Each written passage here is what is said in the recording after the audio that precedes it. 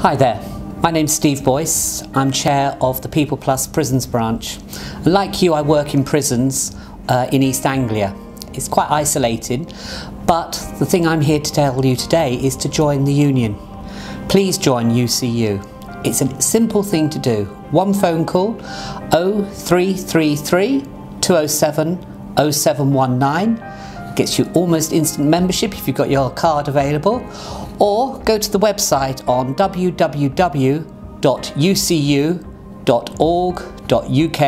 forward slash join.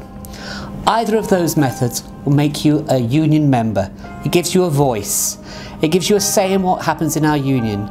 It's up to you how much you do for the union how much you volunteer to work with the union, whether you want to be a rep, a health and safety advisor, whatever.